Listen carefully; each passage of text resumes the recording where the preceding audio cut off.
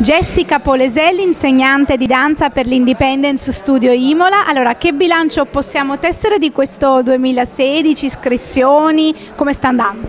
Allora, sta andando benissimo, eh, come potranno dirvi anche le mie due aiutanti Letizia e Noemi, che insomma abbiamo aperto da tre anni questa scuola, quindi è una cosa nuova, insomma siamo usciti come un nuovo progetto e stiamo andando alla grande, siamo partiti che eravamo 40 ragazzi e quest'anno siamo 95, quindi siamo felicissimi.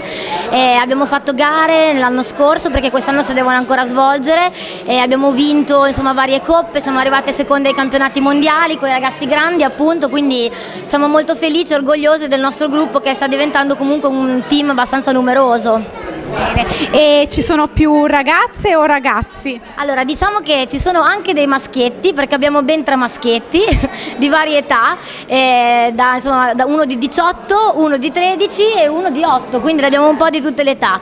Eh, diciamo che il gruppo più numeroso all'interno della scuola sono comunque i bimbi un po' più piccoli, eh, mentre per quanto riguarda i grandi abbiamo un gruppo di 10 ragazzi che comunque sono quelli che portiamo insomma, ai campionati mondiali e che comunque ci stanno inorgogliendo parecchio perché vincono parecchie coppe eccetera, quindi siamo molto contenti.